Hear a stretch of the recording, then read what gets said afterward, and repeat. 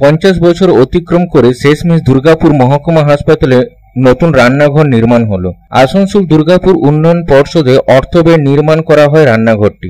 রান্নাঘরটির উদ্বোধন করেন ADDA chairman Tapas Bandyopadhyay. উদ্বোধন অনুষ্ঠানে প্রধান অতিথি ছিলেন পুরসভার পুর প্রশাসক বোর্ডের চেয়ারপারসন অনন্দিতা মুখার্জি এডিডি এর ভাইস চেয়ারম্যান তথা রোগী কল্যাণ সমিতির চেয়ারম্যান কবি দত্ত ও হাসপাতাল সুপার ধীমান মণ্ডল সহ অন্যান্যরা। মহকুমা হাসপাতালে রোগীদের জন্য খাবার দাবার তৈরি করা হতো হাসপাতালের ভিতরে একটি ঘরে। যে ঘরটিতে রান্না করা রোগীদের জন্য বিপজ্জনক ছিল। রান্না করার সময় কোনো কারণে অগ্নিকাণ্ড ঘটার আশঙ্কা ছিল। ওই ঘরের পাশেই রোগীদের চিকিৎসার বিভাগগুলিও ছিল।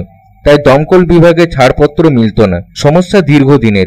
হাসপাতাল কর্তৃপক্ষ সমস্যার বিষয়টি এডিডিএ কর্তৃপক্ষকে জানান। সেই মতো রান্নাঘর নির্মাণ করে ADDA. ADDA chairman Tapas Bandyopadhyay বলেন মহকুমা হাসপাতাল রোগী কল্যাণ সমিতি একটি রান্নাঘর করার জন্য আবেদন করেছিলেন। সেই মতো এডিডি এর পক্ষ থেকে ষোলো লক্ষ কুড়ি হাজার তিনশো তিরানব্বই টাকা ব্যয়ে রান্নাঘরটি নির্মাণ করা হয়। হাসপাতালের ভিতরে রান্নার কাজে ব্যবহৃত ঘরটির জায়গায় এবার রোগীদের চিকিৎসার জায়গা তৈরি করা হবে। রোগী কল্যাণ সমিতির চেয়ারম্যান তারা বলেছিলেন যে একটা কিচেন সেট করে দেওয়া হয়। আগের কিচেনটা অত্যন্ত অল্প পরিসরের মধ্যে হতো স্বভাবতই সেই পরিষেবাটা সবাইকে ভালোভাবে দেওয়া যেত না। এইটা হলে যারা মানে কিচেনের জন্য যারা কাজ করবেন, যারা কর্মী, তারা অত্যন্ত স্বাচ্ছন্দ্যভাবে তারা কাজটা করতে পারবে। যে কোনো মানুষের যদি ওয়ার্কিং প্লেসটা ভালো না হয় না, কাজটা কিন্তু ভালো হয় না।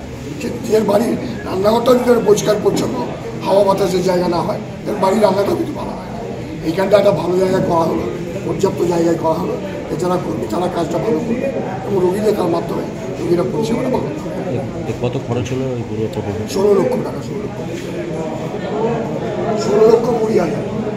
তাপস আর কি কি পরিকল্পনা আছে? আপাতত অনেক পরিকল্পনা হয়েছে ভাই। এখন একটু বলছে নমস্কার কিছুদিনের জন্য। তো পঞ্চায়েত ইলেকশন হয়ে গেল তো স্বভাবতই এই কাজটা কন্টিনিউয়াস প্রসেস করে আমরা আজকে উদ্বোধন করতে পারলাম। নতুন কোনো কাজ এই মুহূর্তে যেহেতু একটা मैं निवाचन आचरण विधि लागू हो गए सब জুড়ে जिला जुड़े কাজ को क्या ना जाए और যে কোনো কাজ করি দেখুন এটা মমতা যে নির্দেশ। মানুষের জন্য যেখানে যতটুকু কাজ আমাদের করতে হবে।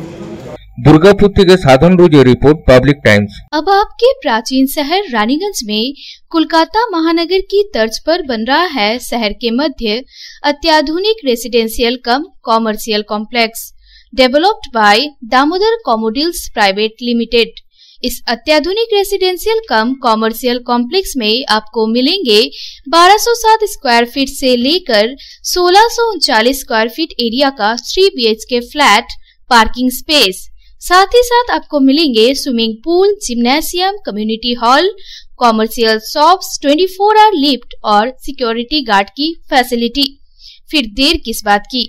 अच्छे वातावरण और सुरक्षित परिवेश में रहने के लिए आज ही संपर्क करें। पीएन मालिया रोड, दालपट्टी मोड़, सोलाना दुर्गा मंदिर के निकट। Raniganj, Paschim Bardhaman. Contact number zero three four one two double four one eight nine six nine six one four one four seven two eight zero Damodar residency, dream home destination.